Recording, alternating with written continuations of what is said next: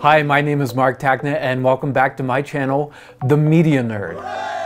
This video, I'm going to show you how to fix an 8mm tape when the tape has actually broken and fallen inside.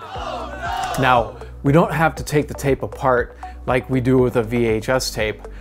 I'm going to show you a very simple way how to get this tape out of the cassette, what I like to call fishing. Oh, really? Now, why would you want to learn how to repair an 8mm tape? Well, this is why.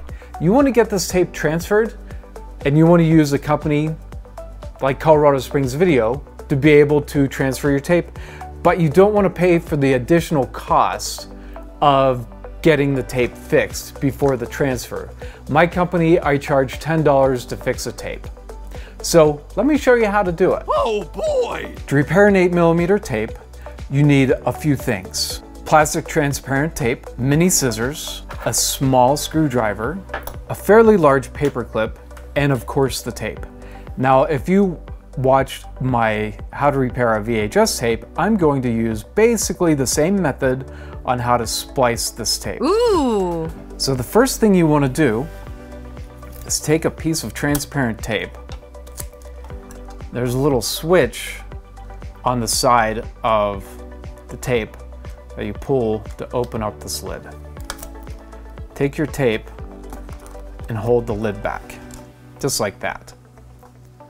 Now, there's not a lot of working parts in an 8mm tape like there is a VHS tape. There are little screws, but we're not going to worry about the screws. What we want to do is get the tape that has fallen inside of the cassette. So you take some scotch tape, just need a little bit, and you take your little mini screwdriver, and like I said, this is what I like to call fishing. So you put the scotch tape on the screwdriver to stick it on one side. And then you're gonna roll it back against itself very gently, just like that, to make it so this sticky side is out. You use your mini scissors or another screwdriver to do this part, but here's a switch here. And the switch is much like the VHS tape, which it allows these to spin, the spools to spin. So you're gonna hold it down, just like that. Now this is the fishing part. I'm just gonna reach down in here and I'm gonna touch the spool. Ah, and there it is. It's really that simple. I'm gonna do it to the other side. Reach down, touch that spool, pull up, and there it is. Absolutely perfect, right? Oh, yeah. I got it.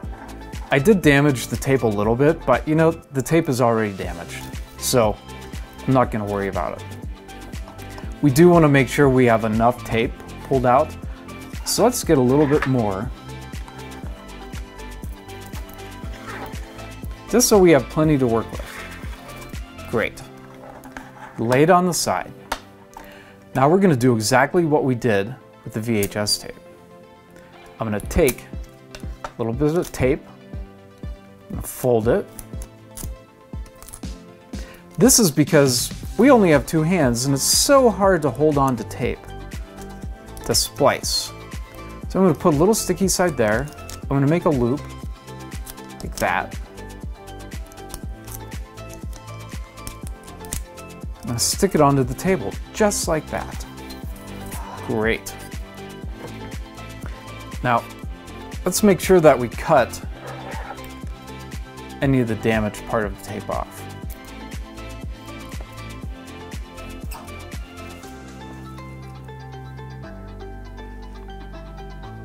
go right there.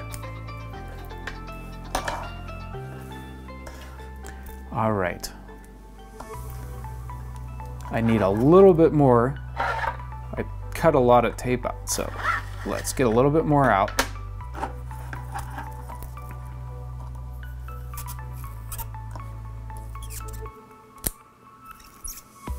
Now we're gonna just lay it right on the tape, just like that. Oh. There.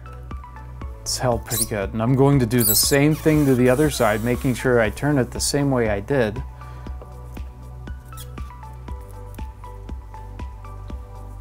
Now, we're gonna line it up by taking your finger, hold the tape, might have to look over top of it, and you wanna line it up the best you possibly can right over. Lay it down. Look at that, it's perfect. I'm gonna take my scissors, I'm gonna run it to the very tail end and give it a cut. We don't want too much hanging. I want to splice the other side. Now some people say you only splice the inside or one side of it so you don't damage your 8 millimeter player, but this is a one-off and it's really not going to damage it. I've been doing this for 20 years now and I have not damaged stuff. There we go. Splice number two. Yeah! I'm gonna take my scissors and I'm going to cut it away from the table. Make sure that your tape doesn't touch the scotch tape. Cut this off. There, I have a bit left just like that. I wanna trim. And if you cut into the tape, that is okay because you don't want the sticky transparent tape getting under the mechanisms of your player. So if you cut a little into it, that's fine. There, it's really nice. Now I'm gonna take,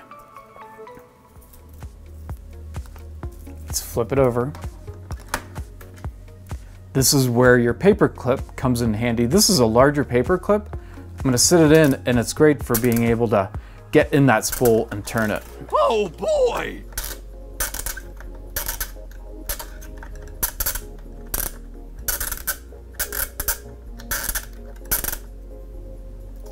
Make sure it goes in nice. Okay.